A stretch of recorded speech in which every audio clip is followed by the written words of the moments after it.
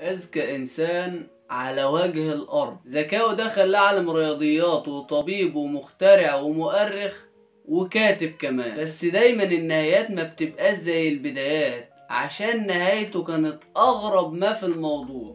وعشان ما نطولش عليكم مظبط قعدتك وجهز مشروبك عشان ندخل في تفاصيل الموضوع. أهلا بكم في سلم النجاح.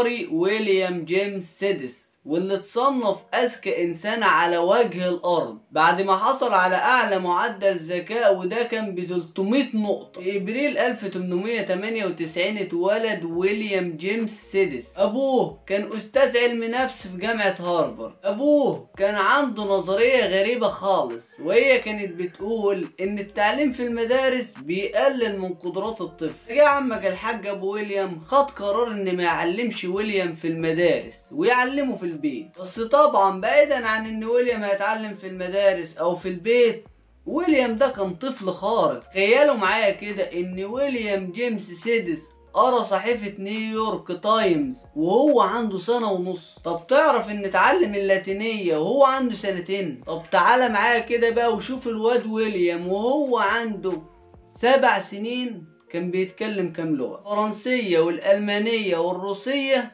والرومانية اللاتينية والأرمنية والعبرية والتركية. تخيل كده معايا إن طفل عنده سبع سنين بيتكلم تمن لغات وأنا لسه بتكلم إنجليزي مكسر. أنا بقى معايا كده نشوف هو عنده 8 سنين عمل إيه. قدم في اختبارات جامعة هارفارد بس ما اتقبلش. عارفين ما اتقبلش ليه؟ مش عشان سقط ولا ولا.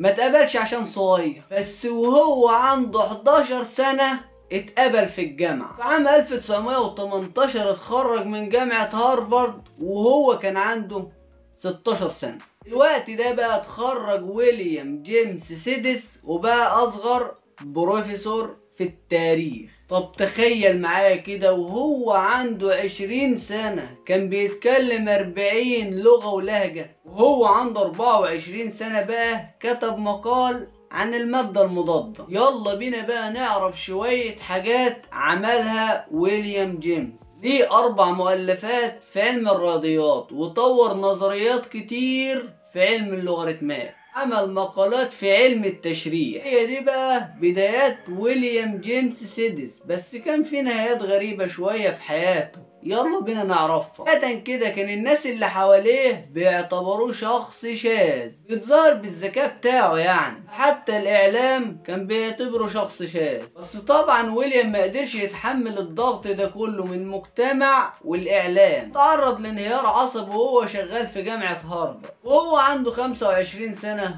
استقال من جامعة هارفارد. وساب كل حاجة لها علاقة بالأنشطة الذهنية والذكاء. قرر يشتغل في مكان صغير كده ككاتب في عام 1924 وهو عنده 26 سنة. شافه مراسل كده وهو شغال في المكان ده. مراسل سأله أنت ليه سبت جامعة هارفارد وجيت اشتغلت في المكان المتواضع ده؟ فقال له أنا أهم حاجة عندي إن أشتغل في مكان بعيد عن الضغط النفسي والإعلام. هو ده بقى ويليام جيمس سيدس العبقري واللي اتصنف أذكى إنسان على وجه الأرض واللي قضى بقية حياته في عمل متواضع. في عام 1944 وهو عنده 46 سنة اتوفى ويليام جيمس سيدس. نتيجة نزيف في المخ. عايز أسألك بقى أنت سؤال. هل ويليام جيمس سيدس استخدم العبقرية بتاعته فحولها النقمة ولا المجتمع كان عايزه يفشل عشان يبقى زيهم؟ شاركنا بال like بتاعك وال comment. وبكده أكون أنا خلصت. أشوفكم على خير. السلام عليكم